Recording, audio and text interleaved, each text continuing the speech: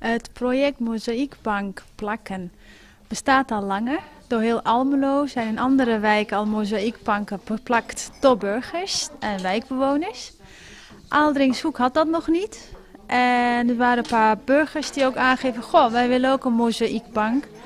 En zo konden we bij Eninvert terecht en hebben we toch uh, ook meer mensen gevraagd die dat willen doen. En gaan we ervoor zorgen weer met z'n allen dat ook Alderingshoek een mooi mozaïekbank krijgt. Hoeveel mensen doen er aan dit project mee?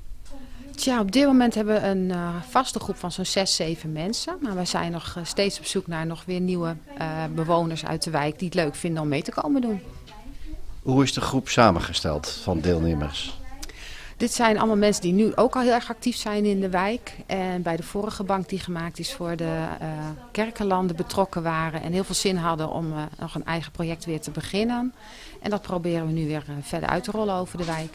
Ik ben de mozaïeksteentjes vanaf het uh, mozaïekmatje aan het halen. Zodat ik ze kan gaan knippen en dan daarna op kan gaan plakken. Ja, we doen het eerst door midden. Dan hebben we twee stukjes. Of diagonaal. Ik haal hem er eventjes af.